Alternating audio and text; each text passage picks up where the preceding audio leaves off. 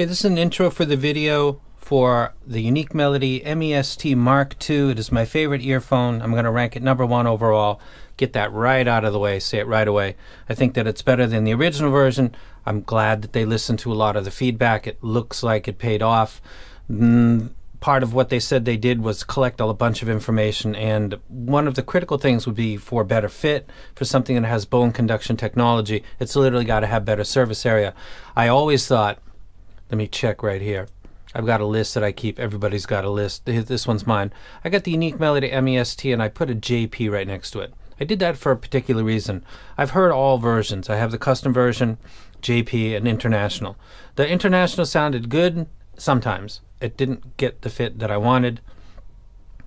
The JP fit better and it sounded like the International did sometimes and I my little brain thought bone conduction driver, surface area contact is important. Mm, getting something in your ear obviously for an earphone and getting a good fit is important, but when something is telling you that it's using that tech, the amount of contact it has is very important. And I thought the JP sounded obviously better than the International. And the difference between the two that I could clearly tell was the fit. Instead of having to push it in repeatedly, the International, the JP just fit. It was like a pseudo custom. So for the first time in my life, I decided to commit and go to a custom, and it was the best version of the three the International, the JP, and the custom. That is the same ranking as the fit, is the same ranking as the sound quality that I got back, and this beats all of those now I'm going to have to put a unique melody again in the S tier. And I thought for a minute that's going to be awkward. But then I thought to myself, as a Sony fanboy, if Sony released a new, updated, and slightly improved Sony IER Z1R, I would put it up in S and I would not take the IER Z1R out because it belongs there. So Unique Melody is going to have two spots. That's what you get when you do awesome and then you tweak it and you do a little bit awesome er so we'll do that right from the beginning. That's how I'm going to go ahead and do it. This is Spidergraph. I'll overlay this. I think that the bass is obviously improved over the original. I think the bass on the original is fine. I think this has a little more impact. Seems kind of clear to me. I think that the the mids also seem a little fuller. The female vocals, Stevie Nicks to be particular, also Mark Knopfler of Dire Straits. I thought that they both, I, all of the vocals sounded to be a little bit better. Also, guitar and percussion sounded superior to me. Treble is a closer call. I think I put the Mark II just because of, let's be honest, Mm, smoke out my ass. I think the bass is obvious in the mids because of the bass is obvious to me. Treble, don't know. Stage, I put it right one on top of the other. They, they both do live stuff fantastic, and I'll show you that later. Resolution, they should be right on top of each other. They're both high res. They do every micro detail without fatiguing me, which is why I fell in love with it. Tonality of the first one was my favorite. This one's better than that, so they're both as good as you can get. I think the value of the MST, MEST Mark II is better because it's the better I am and they're close in price. Maybe a difference is a hundred dollars, and I know that other stuff costs two thousand. I've, I've got a lot of stuff. Nothing touches this, and there's stuff that's much more expensive. I'm not going to overlay a graph of Odin on top of this and show you versus this graph because then you'd see how much grabs are. Mm, indicators, kind of, not much more than that. You got to listen to the music. This is the graph for this set. I'm going to do a second video where I do a comparison with the other set, but I want to be clear that if you've got the Mark 1 International, this is clearly over that. If you've got the JP, mm, I think it's better than that, but if you're happy with that, I guess you'd stay with that. Or go custom, and if you were to go custom, just go to the Mark II and skip the first one. Um, that's what I'm going to try to do because I just love the bass replay a little bit better than the original, and I think it affects the quality of the mids, making it a little more. I don't know. I I prefer that kind of not meaty, but I like the replay. The mid's correct at the same point as the original. It's got that subdued gain, but the driver, the bone conduction driver, is doing something that's not quite being picked up. I don't know what it is, but it gives me all of the details without the fatigue. The notch is about the same as the original one, and this area is, I think this is a little bit lower, and this is a teeny bit higher, and this profile is slightly different, but they both have energy going all the way off the scale. So the frequency graph looks good to me. Those are the two assets. And I'll go ahead and close this down and start with the bass.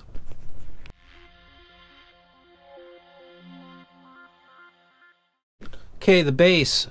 Big Boi, Kill Jill, Nirvana, In Bloom, Marvin Gaye, Sexual Healing, Violent Femmes, Please Do Not Go, Tupac, Ambitions as a Rider, Led Zeppelin, When the Levee Breaks, Eurythmics, Sweet Dreams. Let me go ahead and see if I can put this up. You can pause it at your leisure if you want. That's a close up. PW cable, very nice. Like it a lot. Better than the other one. Comes with Sedna tips, Comply tips, mm, maybe unique melody tip. Comes with some kind of USB something. I'm not really sure. I got to take a look at that.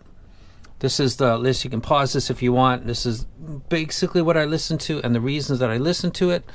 And then I go off into different tangents. If something sounds odd or sounds good, I'll keep going to confirm it's a good thing or it's a bad thing, one or the other. But this is stuff I always listen to. And those are the reasons that I listen to it close this down for a second. The bass drop on Big Boi Kill Jill sounds a little bit bigger, just a little bit, but it's, it's obvious. Um, it's got it's got energy. The bass elevation really showed itself with vocals. So in the low end, I thought that the original was fine. I thought that this was good too. There was not a notable difference. Nirvana in Bloom um, sounded good didn't overpower Kurt Cobain's vocals in any kind of a way. It kind of sometimes does with cheaper gear. Violent Femmes, Please Do Not Go, Marvin Gaye, again, Sexual Healing, Tupac Ambitions the Rider, When the Levee Breaks. Um, so the low frequency, it, compared to my favorite, the original MEST, is right on par with it. And though it looks a little bit elevated when compared, and I'll do that graph in another video, I'm not picking it up it's the vocals where that becomes an audible thing, but not in the low end because that's a bassist. I'm focusing on the bass. It sounds good on the first one. It sounds good on this one. There's not really a lot of departure in the low frequency. It's got mm, texture and layering and all those things that people talk about. It sounds like it. It sounds mm, authentic. I guess is the best word that I can put. I don't want to use words like that. It sounds like being in a room with a drummer. Mm, the original video for the first Unique Melody MEST I believe what I said, paraphrasing myself. It's the first thing that I've had in ear or over ear where it felt like I didn't have any gear on or in my ear. It it just sounded natural to me. And that's, I guess, with the BC driver. I immediately fell in love with it and started hyping the hell out of it months after it was released because I had no idea what it was. I just got it for channel content. And they listened to the feedback and they said that on a forum, and it looks like they did because this fits better and everything sounds better because of that. So it's like the JP with a little bit more bass, um, and the treble is kind of compensating for that a little. And for my library, which is context, this is not computers where some guys talking about video editing, but you don't do video editing, or some guys talk about gaming and you do do gaming. This is music. We listen to music. What kind of music do you listen to? What kind of music exists? What kind of instruments are in the low frequency region of your music that you listen to, whether it's jazz or EDM? Mm, get what you can out of this video. It might apply, it might not. But in, with my library, uh, Massive Attack, Tupac, um, Black Sabbath, it sounds quite good. The thing that I will note is Black Sabbath, Sweet Leaf. This is something that I've shown before. This is the drummer and the bassist getting really, really busy. And it was, this is him. He's just, he's going nuts. He's faithful to the original right here. And he's getting busy too.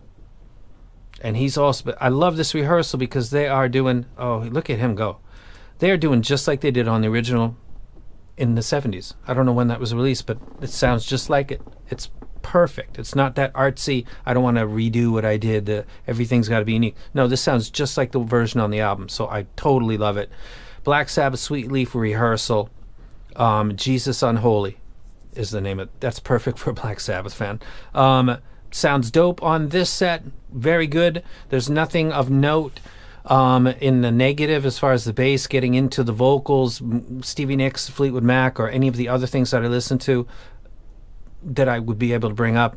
It just sounds good. Low frequency instruments sound clean. They sound good. These are two that are going on at the same time. The Tin Hi-Fi P1, which is a planar, it's a hi-fi. It's that actually showed me that my version of this actually is good and can be played by stuff like planar headphones. Now I'm finding out can do this excellent. A lot of the cheap gear that I was using when I first started my channel played that track like garbage. Or like this is what 70s were for Black Sabbath. They were all about distortion and noise. No, that actually sounds really good on good gear. Black Sabbath, check it out. Sweet Leaf from about 2 minute 30 second forward have a listen, listen to some stuff that you might think has too much bass. This might sound a little bit not clean. And then something that's got maybe a little more typical or pleasing bass to you, and then listen to the same thing, 2 minute 30 second forward. You'll probably note a difference. On the good gear, I do, and Unique Melody MEST first version was good, and I think that the Mark II is a little bit better, and that is the bass.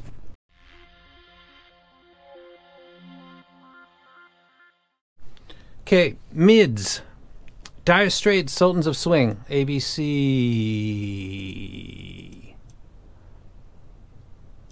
D. I think we're right here. No. First track.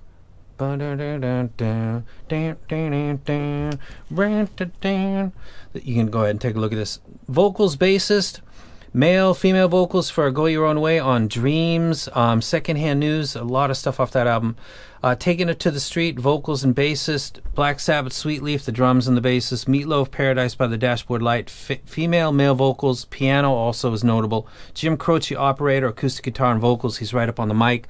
Um, the mids on this sound better than the original, and that's where it comes in. The bass is not something I can pick up because a good bass guitar sounds good if it's a dB point 1.5 over. I can't really pick that up really because I'm focusing on low frequency instruments. When I'm focusing on the vocals, like Go Your Own Way or Secondhand News or Dreams and Stevie Nicks' vocals, that's where this sounded better a little bit than the original. It's in the mids. They are the same as the other version. These both graph with mids being almost identical. I'll put that in the next video. But the elevated bass by a little bit on this version is giving a little bit more energy to the mids. Can you follow what I'm saying? So the mids are exactly the same on the amplitude scale between these two, but because this one has about 1.5 sub bass and mid bass over this one, it is pulling up part of the fundamentals of certain instruments and giving it a a more natural playback. So if you ever listened to the MST MEST and thought, you know, the mids are that would be where I would find any fault with the set. I think they might have heard you. I don't know I ever mentioned that because this sounds better and that's where it seems like the sauce, the secret sauce was put in. It actually sounds really, really good. Um, one of the things that I listen to, this is Can't Find My Way Home. It's a Blind Faith cover. I could not find.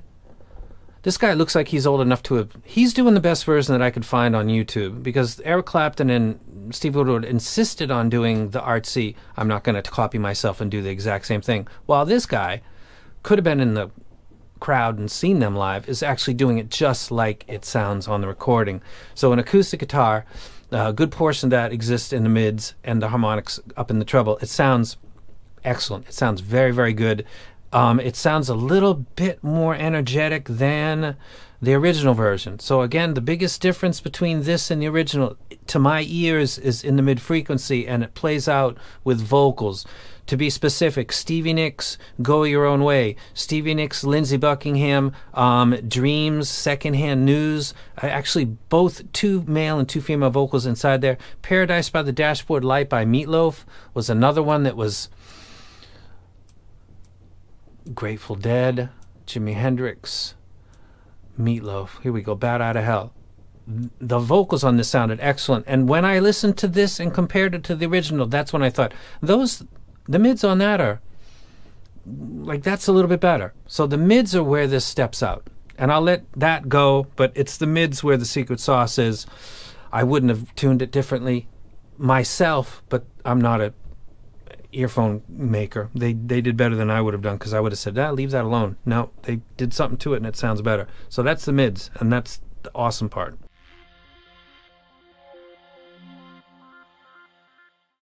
Okay, in the treble, Peter Frampton, Do You Feel Like We Do? Um, that's the sample I'm going to do because it's epic. Little Feat, Dixie Chicken, Boston, Foreplay, It's Been Such a Long Time, Earth, Wind, and Fire, September, vocals, brass, instruments, Led Zeppelin, Hey, What Can I Do, The Cymbal Strikes, I think I showed that already, Metallica, Fade to Black, the intro, guitar, telephone line, keyboards, vocals, cymbals on Aerosmith, No More, No More. Let me take a look real quick. This is Little Feat Dixie Chicken with Emmylou Harris and Bonnie Raitt live 1977. Let's see if I can get this when he's starting.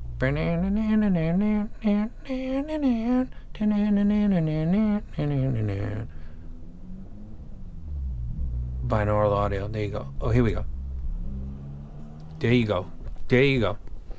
This actually sounds just like the version that's on Waiting for Columbus, Little Feat. I don't know if you're familiar. Dixie Chicken. It sounds so close. I thought that they this is the version that they put on the album. It's not, but it was close. That guy looks like Ginger Baker. A little bit, doesn't he? Come on. Um, that actually sounded dope. And the sample that we're going to do is Peter Frampton. See if I can get to where he's doing it.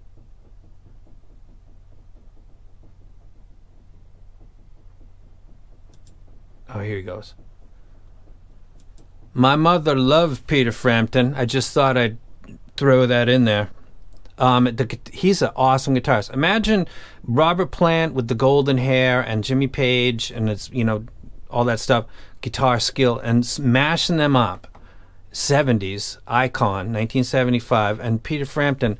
Peter Frampton is a very very good guitarist and he had the the Robert Plant open shirt, big hair thing going. I can, if I were a chick in the mid '70s, I probably would have had a poster and been thinking, I'd love to bang him.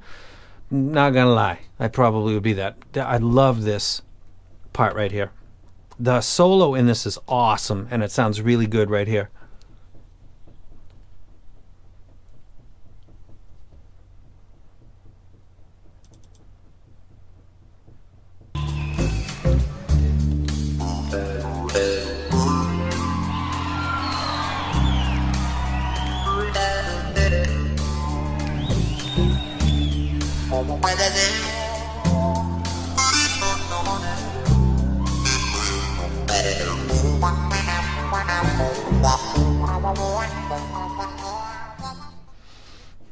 I don't know why, but the live stuff, like Little Feat and Peter Frampton, really grabbed me. Also, Metallica.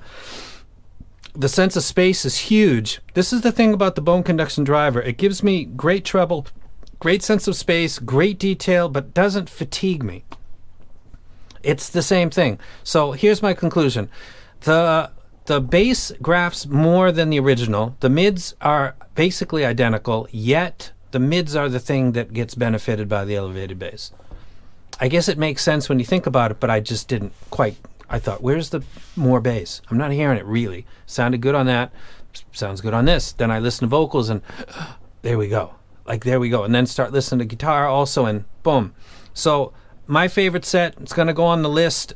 I th- had some issues. I thought if Sony released a new one, would I put two up there? I would. So Unique Melody gets the same respect. They made two awesome sets. It's going up there. If you ask me which one do I recommend, I recommend this one. If you got the International, definitely this one. If you got the JP, I think that the mids on this sound better than that one, though I, I like that one and I never thought that was an issue. But when I A and B between the two, I like this better. I actually like this better than the custom first version.